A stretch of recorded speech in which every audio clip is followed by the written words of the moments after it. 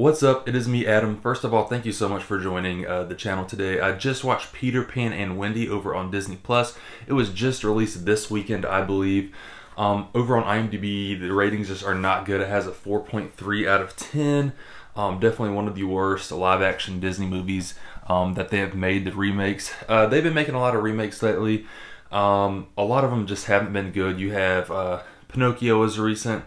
Beauty and the Beast. You have um, Aladdin, uh, Pete's Dragon, Cinderella was kind of started back in 2015, Mulan, and a lot of those movies I just don't feel are great, um, which gave me not a lot of um, hope for this one.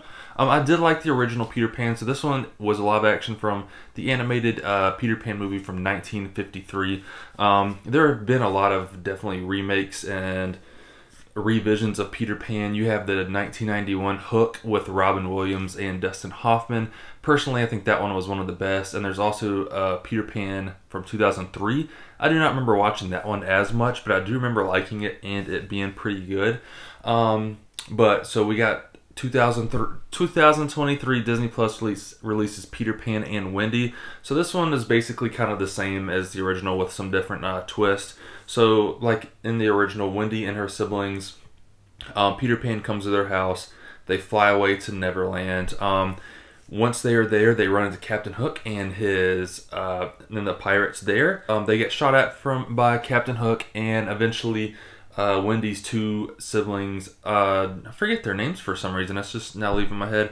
Get captured, um, and then after that, uh, once they get captured, Captain Hook goes to kill them in a cave with the rising tide. But Peter Pan and the Lost Boys turn out to save them. After that, they go to Peter Pan and the Lost Boys hideout, their home, where Wendy sings them a song.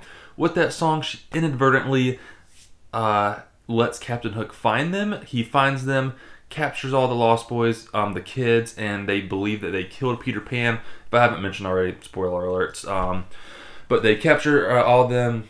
They take them onto the boat and make Wendy walk the plank. From there, Wendy jumps off. They don't hear a splash. Wendy starts flying um, because of Tinkerbell. Peter Pan shows up. Uh, Tiger Lily shows up. They save the day.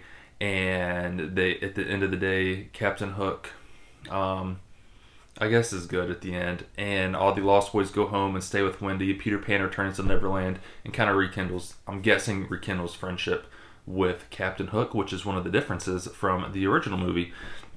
So I'm going to start with my dislikes of the movie. The first is the casting for Peter Pan and Captain Hook. Um, I don't know the name of the guy who acts Peter Pan, but I just couldn't get into the character at all. I didn't know if it was him um, the way he was directed or what. I just wasn't a fan of that casting choice. Secondly, we have Jude Law as Captain Hook. At first, I didn't like it, and I don't know if it was because of him or maybe because of his wardrobe or his costume or whatever. But I feel like throughout the movie, I did end up liking his character um, and him as Captain Hook more and more. It's just the first kind of half of the movie I couldn't buy or get into it. But after that, it went uh, pretty well.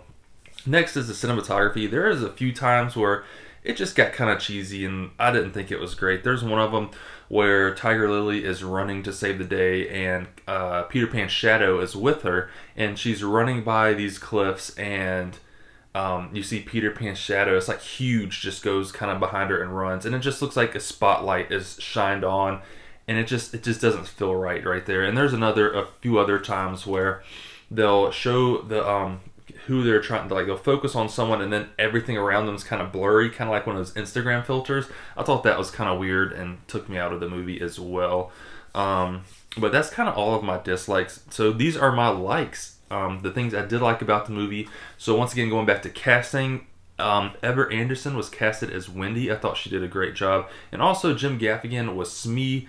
Um, there wasn't a lot of camera time from him, but overall I thought he did uh, great as Smee. Um, and something something else that they added to this story that they didn't have in the begin or in the original, which maybe maybe they did and I just don't remember, was the reason Captain Hook was mad at Peter Pan was because Captain Hook missed his mom, missed his life, so Peter Pan banished him where uh, Captain Hook then grew up and came back where his real name was James.